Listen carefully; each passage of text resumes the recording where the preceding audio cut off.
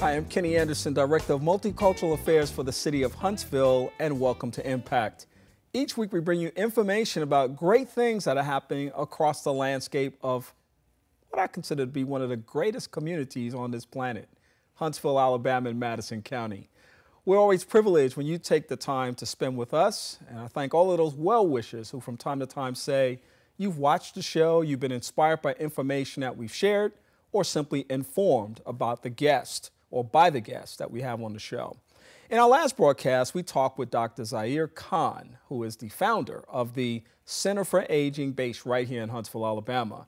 And Dr. Khan was sharing such great information that I was just so excited that we kind of ran out of time, but I also was looking for a way to get him back on the show so we can finish our conversation on the issues and challenges affecting that demographic known as the elderly population. Well, Dr. Khan has graciously agreed to come back, and he's on our broadcast today to finish that conversation. Dr. Zahir Khan, welcome back to Impact. Thank you, Kenny. It's good to have you once again. And in our last conversation, we talked all about the Center for Aging, the work that you're doing. We talked about issues related to falling, but I wanted to talk a little bit about medication and the elderly as well. I am one of those people who has just said, I'm going to do everything I can to prevent having to take medication for anything.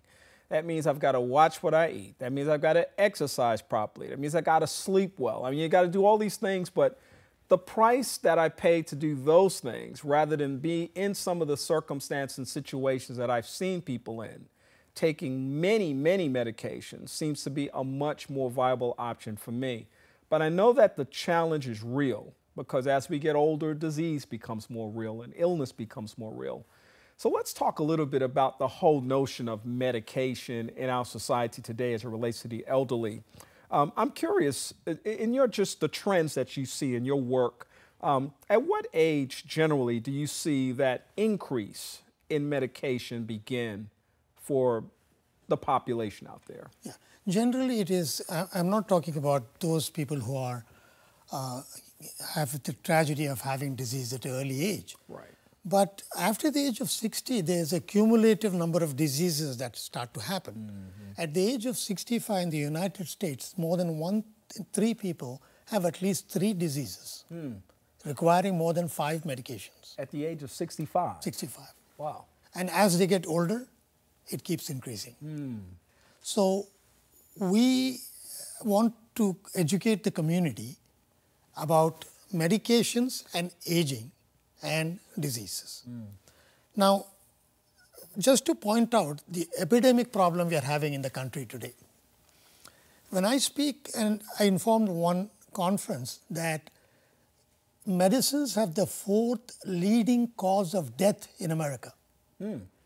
That means after heart disease, stroke, cancer, medicines are causing death the fourth leading cause of death. Correct. That's significant. Correct. Wow. And they are responsible for more than 50% of visits to the hospital. And it's, a, it's I call it a hidden epidemic. Mm. And the, it's hidden because you can't prove it. Mm. You cannot prove by a test mm. that the medicines are causing the problem.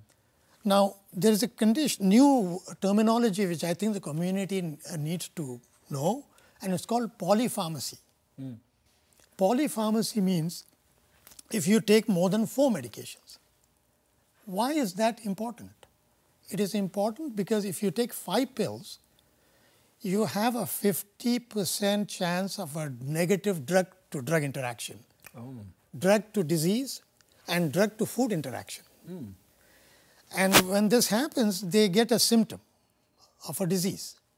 Now, when they go to the health professional, they interpret this new symptom as from a disease mm. when in fact it is from the existing medication. Wow. Wow. And they give one or more medications to treat the side effect of the existing medication. Wow. And that is called prescribing cascade. Mm. You're adding mm. problems. Mm. So we want to train the community into new science called deprescribing. Okay. Which means you go to a, health professional, the first thing they come out is a pen without much thought process. Mm. because we are trained that way. Mm-hmm. When you're holding your pen to write a medicine, mm. you should know this may harm your patient. Mm. Mm. You must think hundred times. Am I helping my patient? Is this drug, how is it going to help? How is it going to interact with the existing medications that he's taking? And once you analyze that, then you must also ask them to subtract what you previously added. And so what we are now noticing that the patients, uh, I, I tell in a joking way to all my patients, they, they're all physicians. They come to us for second opinion. and so they're taking over-the-counter medications. Yeah. Uh, one study in Iowa showed that multivitamins are harmful to older people. Confirmed beyond doubt in the research. For healthy people who have a normal nutrition, if you take multivitamins, you're harming yourself. And when you're adding the herbs, supplements over the counter, those are as bad as prescription medicines. Wow. So we call it a double edged sword. Hmm. And I tell many of my students, we are not putting down medicines at all. Mm-hmm. In fact, medicines have saved millions of lives. Mm-hmm. Medicines have helped people with pain, mm-hmm. suffering, eradication of infectious diseases. Millions and millions of people have been saved. We are talking the other side of the coin. It's a double edged sword. So you would, I was interested, and I'm glad you said that uh, about how you how you're perceived by other physicians uh, in your field. That uh, do they see you as an anti-medication guy? Because I don't I don't hear that in you. I hear you giving another perspective on the condition that's created once medication is introduced. Um, but how are you perceived by others in the field? Well, I, we, we, we think because they understand that I'm in this community for 20 years and they can access and analyze what I did. And we are going through a scientific, uh, evidence based, method, methodically going through a process of educating the patient and the family. And so they recognize and respect that training. Because, you know, we, we health professionals, whether you take uh, caregivers or you take somebody who's working as a uh, whatever capacity mm-hmm. you are, mm-hmm. you are a member of a team to help your patients who are suffering, mm-hmm. a suffering human being.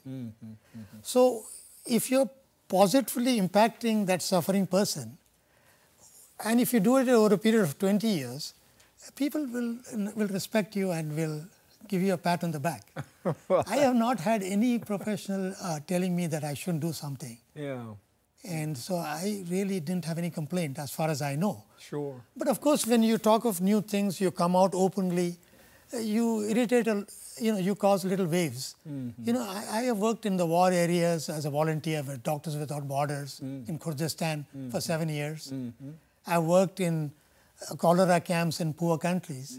So I basically, you know, my job uh, uh, given to me by God Yeah. is to help my patients. Yeah. I'm curious that sometimes, and I think the medication thing really struck me two significant times in my life. I'm a mental health counselor by trade and practice for 20 years. And so, so many times I would see parents who came in with the check sheet, behavioral check sheet, talking about, you know, what about that Ritalin? What about that Adderall? You know, because they were told that their kid had, say, 20 of the 25 features on there. And so the first thing they started thinking about was, let me medicate my child, which of course would always be a shock to their system when I said, well, hang on just a minute now. Um, I understand what you're wanting, but let's look at the whole person, again, as you said, so I can certainly connect to that.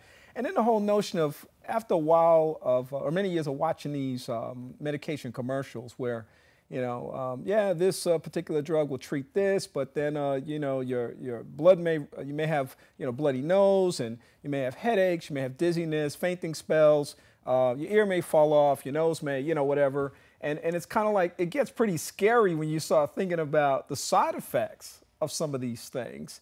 Um, as you talk to patients, and they may raise certain issues about the number of medications that they're taking or the impact of taking so many medications, what kinds of things do you say to them to help them really understand the journey? Because a lot of people come in wanting the medication thinking that that's the answer. What we are doing is a multi approach. we are educating the uh, nursing school, Hunts- University of Alabama at Huntsville. We are teaching a lot of nurses in the hospital and in the offices. So we are creating a teamwork. For example, the last conference we had, very successful, where we had one of the leading physician scientists in the world, Dr. Milton Brown, came to us. Mm-hmm. We were privileged and honored mm-hmm. when he came. Mm-hmm. And he, in fact, pointed this out that the trials for the medicines are not being done in the elderly, they are doing in college students. Mm. So, how do we know mm. that a medicine that was done in a trial affects my 90 year old patient? Mm. We don't have evidence. And so, I think it's a long road we are going to have with the baby boomers coming in. Mm. Our system will not be sustained mm. if we don't sit back mm. and take a second look at it from a very evidence based approach. And as you said about this, the about the population you had, the population above 80 years old is rising four times more than the general population. Wow. And 50% of them will have dementia and Alzheimer's. Wow. 50%. Correct. Wow. At the age of 85, 50%, most of it's unrecognized. Wow. So when they come and tell you, I'm a headache, they're not exactly able to express what the problem was. Hmm. So we need to create skilled workforce to teach them communication skills hmm. of how do you understand a patient who cannot express himself. Wow. Yeah.